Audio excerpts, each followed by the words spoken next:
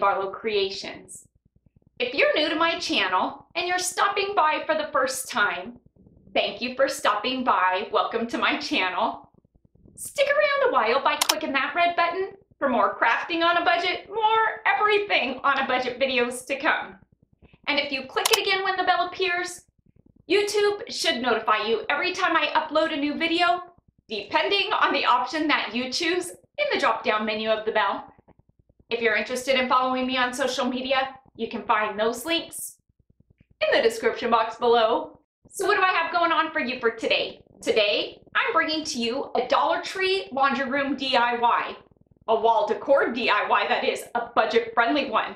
I've been getting a lot of requests for laundry room, bathroom, and kitchen DIYs using Dollar Tree items. And so that's really something that I've been focusing on lately. And today's DIY is one that I think you're absolutely gonna love. I love the outcome of it. It is very rustic. It is very farmhouse. And did I say I loved it? Well, I love it. And I think you're gonna love it too. I'm gonna quit my gabbing. Let's jump into it and let's do some Dollar Tree laundry room DIY wall decor pieces on a budget. Yeah, that. Let's get to it. Who is today's KB Creations Crafter of the Day? You'll want to stick around to the end of the video to see if it's your creation that's being featured in today's video. Alrighty, we are jumping back onto the horse now. We're gonna do some DIYing today. Some Dollar Tree DIYing. Did I say some budget-friendly Dollar Tree DIYing? Wall decor, laundry room. You're gonna love this. Today, I'm using these wall decor plaques. Now, these are a plaque that I had in my stash. It's summertime, you can find these now. If you can't find these, you're gonna find them for just about any holiday. You know Dollar Tree always has these in stock. But if in fact they don't have them in stock, guess what you're gonna do? You're gonna pick up a plaque like this. Again, this was one that was in my stash, hence it's an Easter plaque. You're gonna take this plaque, you're gonna flip it over, and you're gonna cut those corners off, giving it just a bit more character and adding a decorative feature to it. These holes, you know I don't like them. What am I gonna use?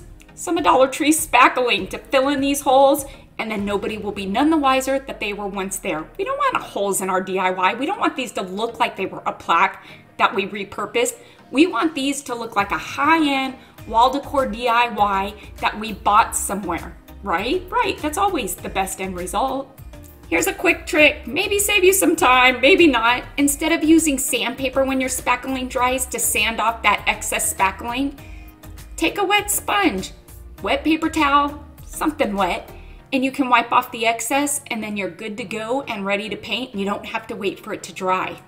So yeah, I totally skipped the step of showing you that I painted these three plaques with some of Waverly's paint, chalk paint that is, in the color of white. Can you tell? It's white.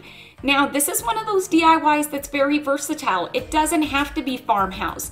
Get creative, make it your own, do it in a color that's gonna suit your decor style, and I guarantee you're gonna have the same great outcome. But you all know I'm a rustic farmhouse gal, and so I'm gonna stay true to my nature because this is a piece that's gonna go in my laundry room. And taking some of Waverly's Antique Wax, surprise, surprise, right? I'm gonna use a dry brush stroke and I'm gonna add some strokes to the front of this plaque using that antique wax. Now, a dry brush stroke, what is that exactly? It's just using a very dry brush, lightly putting a bit of whatever paint or stain or antique wax in my case that you're using on the tip of your brush. You really don't want an excessive amount and you just kind of brush over it and it's gonna give you this streaked look. We're not looking for an even look. We're not looking for it to be smooth yet because we're gonna take some sandpaper after this dries, we're gonna sand over it and it's gonna soften it up and smooth it out. So you can see here that I did go over the front of the plaque with some sandpaper. Again, sorry I didn't show you that. I am just not on my game for this DIY, am I? Now I'm gonna take just a sponge dabber and the antique wax and I'm gonna line the edges with this because when you do that, it really does kind of finish off those edges, give them a burnt look, if you will. And so I just really liked it a lot better than leaving the edges plain. Now, if you're painting this with a colored paint, Maybe make your paint just a few shades darker to add to those edges. And you can do that by adding a brown or a black to whatever color it is that you're using. Look at how awesome this looks. It reminds me of those old tags, just a giant size. You know I am somehow going to incorporate some twine into this because it's rustic and it's farmhouse and it's mine.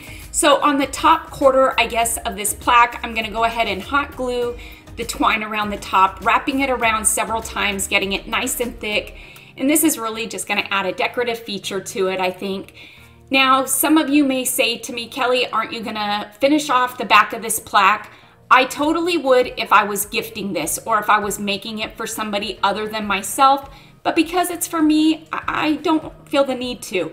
Now, if you wanna finish it off, you can finish it off with scrapbooking paper, you can do felt, you can do fabric, or you can just use the craft paper that comes in a roll at the Dollar Tree. During fall and harvest time, Walmart's got these great cotton picks. These are by Mainstays, they're 97 cents. You can't beat them. This is one that I had in my stash. I'm gonna take some wire cutters just to cut down the stem a bit. Once I've got the stem cut down, just to give it a more finished look, I am going to wrap the stem with some more of my mm -hmm, twine, cause why not? Cause we can. I'm gonna hot glue this right off to the side here and of course, I need to finish it off with one of my twine bows. And so that's gonna go right on top, just kind of covering up and disguising that stem. Perfect finishing touch, I'd say. Now for the wording, I'm gonna be using these poster board letters that you can find at Dollar Tree. These were ones that I had in my stash. And so hopefully between the four sheets, I will have the letters to write out the word wash, dry, and fold. Words, wash, dry, and fold. Because this is a brown farmhouse DIY, black lettering isn't gonna work for me. What's great about these poster board letters, you can paint them with an acrylic paint.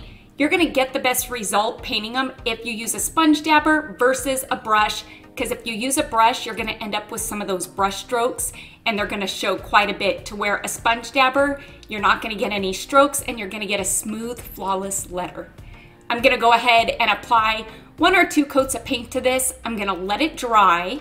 Once it's dry, because we put this on wax paper, you can easily peel up your letters and there's still gonna be that sticky adhesive backing.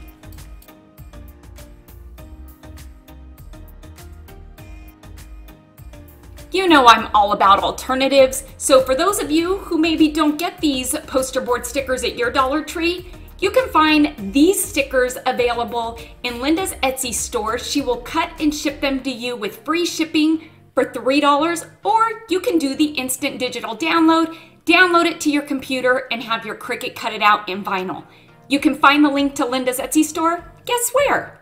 In the description box below. And for these plaques, heck, I'm just gonna apply the letters vertically up and down because I thought it'd be fun to be a bit different. And again, I did three of these plaques and each of them is gonna say wash, dry, and fold.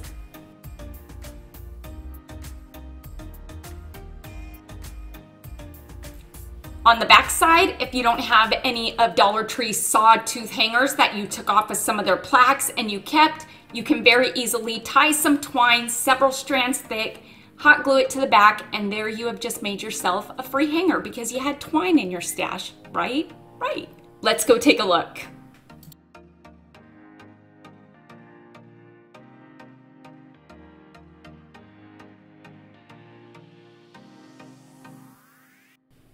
Who is today's KB Creations Crafter of the Day? Yep, it's going out to Aaron Wilson. He made me this amazing wood charcuterie board and even personalized it. I am loving this. Thank you, Aaron. So I think it's safe to say that this is a very budget-friendly laundry room DIY and it's a versatile one too. If you wanted to switch up those words and put different words like live, love, and laugh, it could very easily be something you put in a kitchen or a bedroom. But because so many of you have been asking for laundry room DIYs, I thought that the wash dry fold was perfect for this and I really love the rustic farmhouse outcome of it. I hope you all enjoyed today's Dollar Tree laundry room wall decor DIY. Whoa, honestly, that was a mouthful. Please make sure to give this video a big thumbs up. And let's get this video to 5,000 likes. Because like I always say, and I know I sound like a broken record, but it's true. Each and every one of your thumbs up and the comments that you do leave down below, they really do help my channel to grow and it helps YouTube to notice me just a bit more. Until next time, everybody, I hope you have a fantastic day. Happy crafting on a budget. Stay happy, stay safe, stay healthy, but most of all, stay positive.